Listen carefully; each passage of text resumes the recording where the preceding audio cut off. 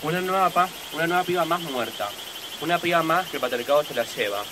Hoy Agustina lamentablemente pasa a ser una de las mujeres que matan, que matan cada 34 horas.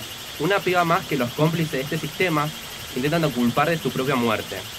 La culpa no la tuvo ni la ropa, ni porque se volvió a su casa sola. Fue Pablo Triunfini, femicida.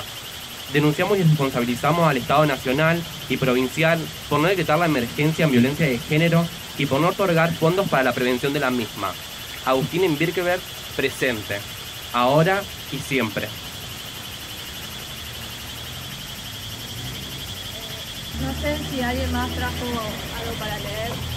Fui avisando, no sé si quieren pasar.